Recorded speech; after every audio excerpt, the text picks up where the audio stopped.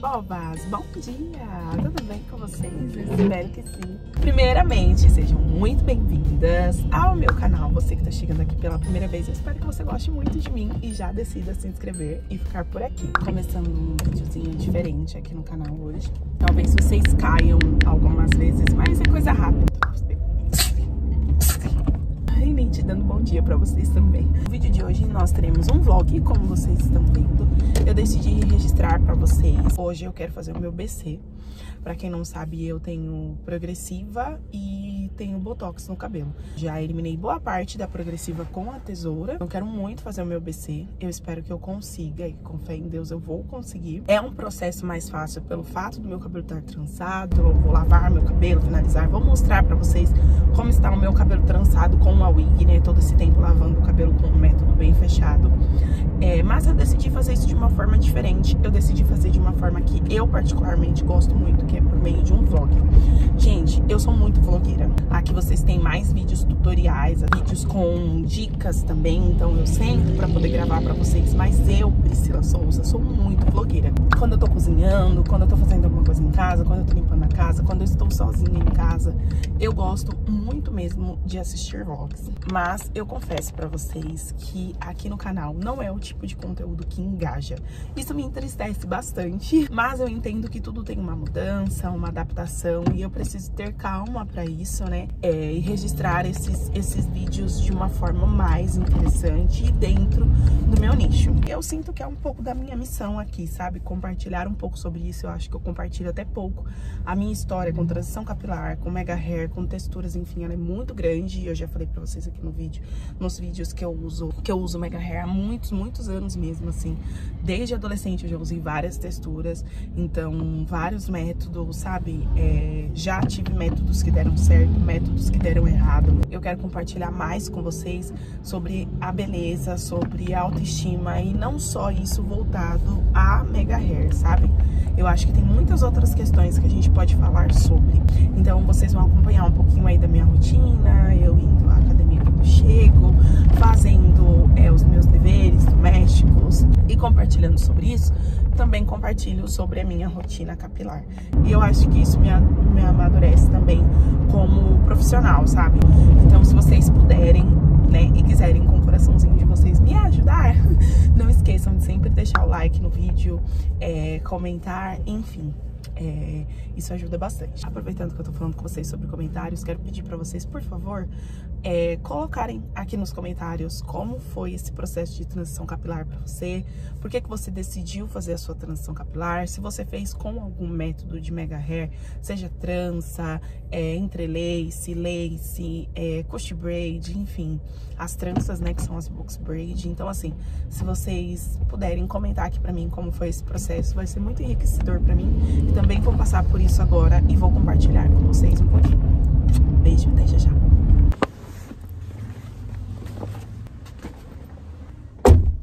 Cheguei em casa e temos um trabalhador aqui. O que você tá fazendo, amor? Limpando. tá escovando sofás, cadeiras. Olha como sai pó. E a gente limpou, né, amor? A casa tem uns, o quê? Dois dias, né? É, porque saiu mais do tapete. É. Olha o Alex. E eu vou aproveitar o embalo e vou separar a roupa aqui já vou colocar pra lavar também.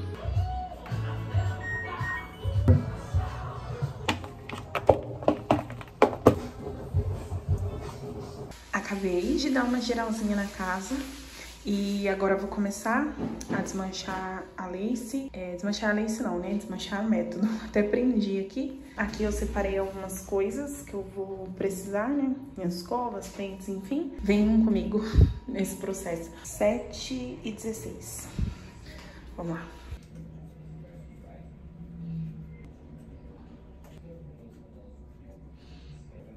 Já soltei uma parte e ele tá preso bem nessa nessa trança aqui, ó.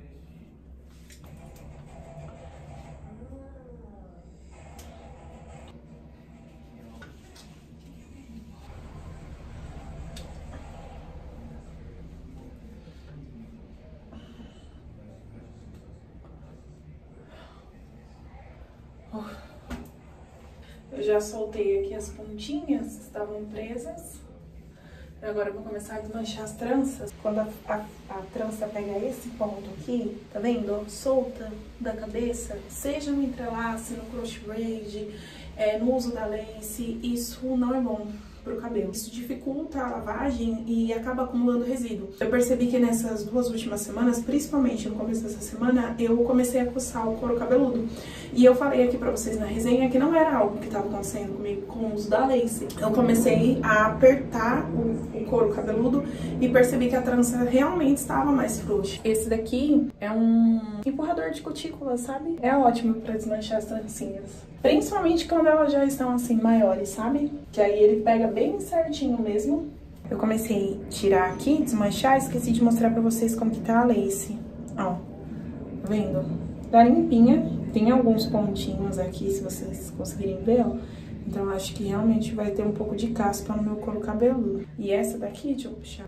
Ó, essa daqui é a linha. Tá costurada. Eu vou lavar ela. Mas ela tá bem limpinha. Vou conversar com vocês um pouquinho enquanto eu desmancho aqui. Eu queria muito ir à academia hoje, mas eu estou trabalhando, estou registrando conteúdo para vocês. Eu tenho tentado fazer muitas coisas no mesmo dia e isso tem me gerado um cansaço muito grande.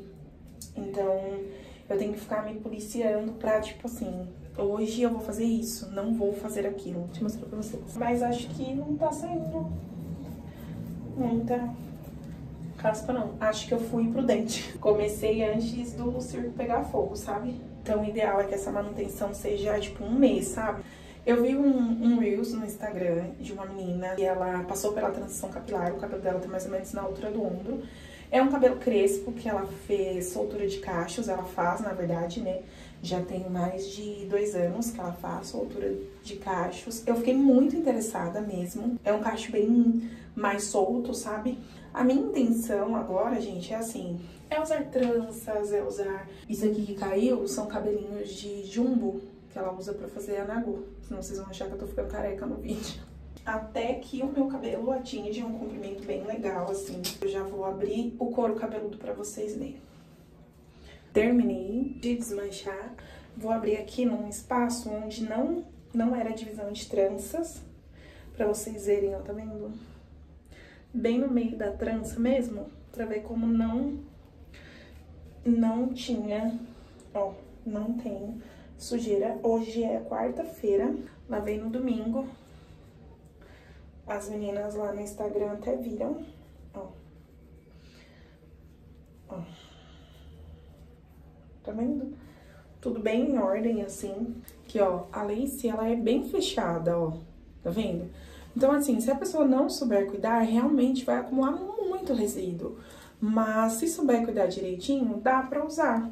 Eu não indico pra todo mundo, como eu disse, ó, tá vendo? É por esses espaços aqui, ó, que eu faço a lavagem. Passando o dedo assim, ó, e aí ele vai fazendo assim no couro cabeludo pra lavar. Agora, aqui dá bastante trabalho, tá vendo? Porque é mais fechado. Então, eu tenho que vir nesses espacinhos assim, ó, da rendinha para poder lavar e eles são menorzinhos, tá vendo? É... Mas como eu disse pra vocês, assim, dá pra usar, só que dá um certo trabalho. A manutenção precisa ser num tempo menor, não dá pra você colocar um cabelo desse e ficar com ele, assim, meses sem fazer manutenção. Na verdade, nenhum mega hair dá, né, Porque senão realmente acumula. Porque, ó, quando você olha de cima, deixa eu colocar ele contra a luz aqui pra vocês verem, que, ó, Tá vendo? É um método fechado, mas é possível fazer a higienização. Agora, eu vou umedecer ele, vou desembaraçar, vou passar uma máscara antes de aplicar o shampoo, porque é um cabelo que já tá usando seu shampoo há um bom tempo, então eu quero passar um produtinho nele pra ir desembaraçando. Não vou conseguir registrar pra vocês a lavagem, porque assim, gente, eu trabalhei muito hoje, eu tô um pouco cansada, eu quero tomar um banho, assim, de rainha, sabe? Ah, caiu um fio aqui. Então eu não quero tomar banho de top, de short, nada disso. E pra registrar pra vocês eu preciso. O cabelo que tá com bastante volume, ó. Conseguem ver, ó, que tá liso aqui, tá vendo, ó? Isso aqui tudo precisa sair pra ficar mais essa parte natural. Vou começar a desembaraçar e depois a gente vê essa questão do BC e do corte. Eu já vi muitas meninas tirando o Mega Hair com muitos nós, muito acúmulo de resíduo, muita sujeira. Por que aquilo faz sujeira? Gente, não faça isso. São bichinhos, sabe? E é isso que faz a sua cabeça coçar, eles se alimentam dessa sujeira, não é legal. Então não vale a pena, ai, porque eu quero ter um cabelo bonito, porque eu quero ter um cabelo longo, porque eu quero, sabe, sacrificar a saúde do seu cabelo natural e a sua saúde também, porque isso interfere na saúde da gente.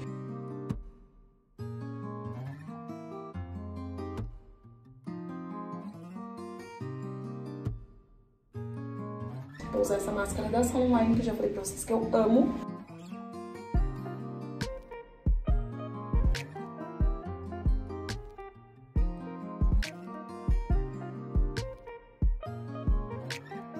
Eu não preciso fazer um corte, porque eu não vou usar isso agora. O que eu preciso fazer é tirar isso aqui. Então, já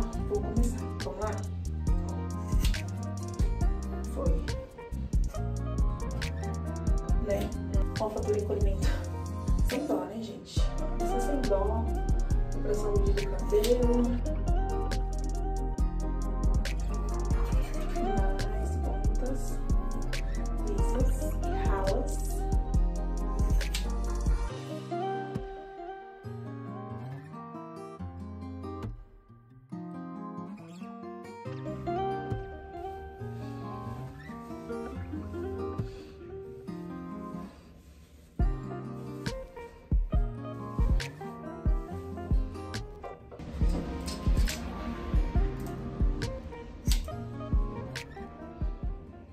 Pegar um baldinho pra poder lavar a lace. Eu vou lavar ela no balde hoje, com o movimento, né, de levantar e tudo mais, que é muito bom pra laces, wigs, enfim. Então, se você não usa uma lace, uma wig fixa, é muito legal você fazer isso. Coloca o shampoo no baldinho, vai mergulhando ela e subindo, né, pela touca. Isso é ótimo, ela não embaraça, fica uma lace bonita, bem cuidada. Então, usei a máscara óleo de manga da Salon Online, SOS Cachos. Também coloquei um pouquinho de óleo reparador para proteger os fios durante a lavagem. No meu cabelo, eu vou usar seda anti-caspa para deixar esse couro bem limpinho. E vou condicionar com seda ceramidas, que deixa o cabelo bem macio, bem gostoso. E no cabelo da wig, eu vou usar Tio Nacho. E depois também vou aplicar a máscara SOS Cachos. E depois eu vou fazer a finalização com o ativador de cachos da Salon Online de óleo de coco.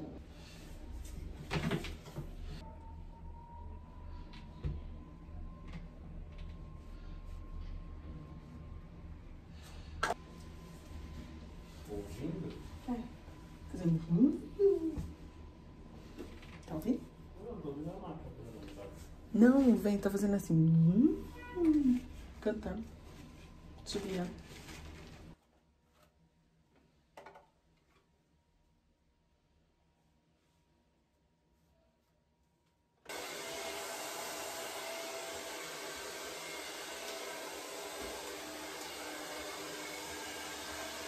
Cabelinho seco. Aqui na frente vocês podem ver tem bastante parte lisa, porque era aquele meio, né, o topo que eu fazia botox. O meu cabelo eu é, enxaguei todo o produto que eu tinha nele, eu não posso deixar nada. Tá sem nada de produto, não pode ter condicionador, máscara, nada oleoso. Então ele tá só enxaguado mesmo. É, e agora eu vou arrumar alguma coisa pra mim, pro Johnny jantar. E a gente se vê de novo amanhã de manhã pra eu arrumar esse cabelo. A gente se vê lá na manutenção, enfim. A gente vai se falando no decorrer do vlog. Boa noite, pessoal. Até já já.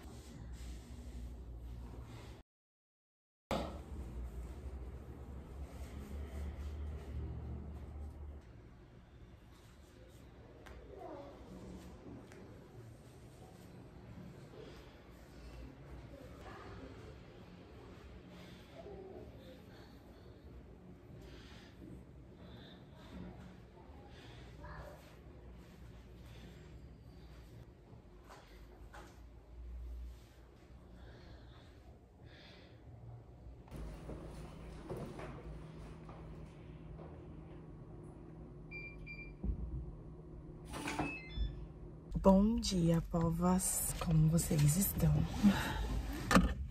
Gente, eu dormi muito mal essa noite, muito mal. Eu não gravei muitos takes pra vocês de manhã. É, não era colocar a wig. Eu queria fazer um afro puff ou até ir com ele solto, sabe? Prender algumas partezinhas com um grampinho, fazer um penteadinho, enfim, essa era a minha intenção. Mas eu acordei é, passada já do horário, não foi nem em cima do horário. E também tava muito, sabe? Ai, arrastando, fazendo as coisas arrastando, eu não gosto disso. Mas enfim, chega lá na escola, toma um cafezinho, conversa. Ah, esqueci a aliança, ó. Não disse pra vocês que eu não tô bem hoje. E eu nem posso voltar porque eu já tô um, um bocado atrasada. Eu vou desligar agora aqui vocês. Vou colocar um louvor, uma musiquinha pra tocar, vou dirigindo com calma. Chego lá no trabalho, começo a trabalhar, conversar com as minhas colegas, começo a conversar com as meninas lá, fazer minhas coisas, o dia passa e dá tudo certo. E aí mais tarde nós temos salão juntas. Beijo.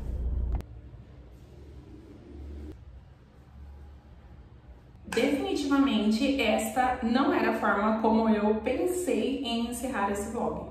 Mas na quinta-feira, como vocês viram aí nos takes né, anteriores, eu não me senti muito bem. Foi piorando conforme eu fui, conforme eu cheguei no trabalho. É, senti mal-estar, bastante dor de cabeça, é, por causa de forçar tanto, sabe, a questão da coriza e tudo mais, sensibilidade nos olhos que eu já tenho.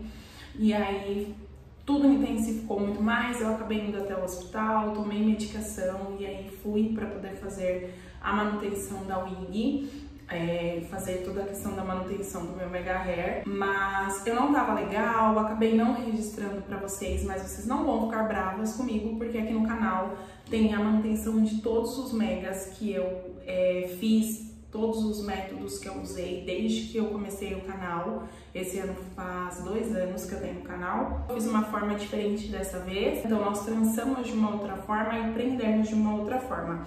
Eu fiz isso porque eu quero testar é, a lavagem com ela mais aberta para ver se faz diferença. Vocês viram aí que eu não tive muito acúmulo de resíduo no couro cabeludo. A minha cabeça tava alguns dias sem lavar, então o que vocês viram aí, né, é questão mesmo de shampoo, de máscara, que acaba pegando porque o cabelo cacheado, eu uso bastante produtos então acaba ficando, mas não acumulou resíduo, não tive ferimento, né, de ficar coçando a cabeça com machucado. E aí eu vou mostrar aqui pra vocês o que que eu fiz. Eu estava usando a costura 360, então toda a volta da cabeça e mais o meio estavam com uma costura. Então é uma costura aqui, uma costura aqui e uma costura no meio da cabeça.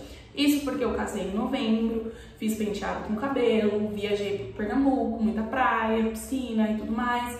Então eu precisava de um cabelo que me desse essa liberdade de eu poder mergulhar, poder fazer várias coisas com o cabelo bem preso. É, agora já não é mais, né, essa realidade, embora a gente esteja no verão, quer pegar uma piscina e tudo mais, mas é adaptável. Então eu fiz com uma costura mais aberta para ver se na hora da lavagem é realmente muito diferente a questão para lavar e se, como eu falei para vocês, não acumulou resíduo, mas se acaba acumulando ainda menos, né? Enfim, quero testar, vocês sabem que eu gosto de testar várias formas. Então, o que eu fiz dessa vez foi, eu fiz toda a trança em costura reta, vou abrir aqui para vocês verem, ó. Essa daqui é toda a parte do disfarce que eu deixei. E essa parte aqui, gente, até ontem estava toda trançada. Por quê? Eu pedi para ela trançar tudo e colocar a wig em cima. Eu queria ver como ficava o acabamento, sabe? Se ficava realmente muito artificial. E ficou muito assim, não me possibilitava fazer esse coque maravilhoso que vocês estão vendo agora.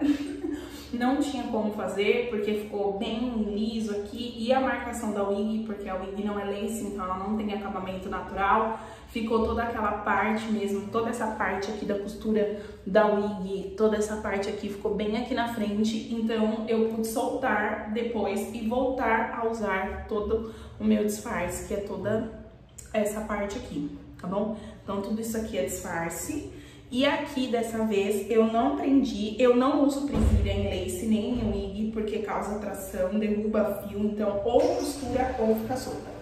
Então toda essa parte aqui, ela é bem certinha pra minha cabeça, então ela não fica folgada, nem caindo, nem nada disso.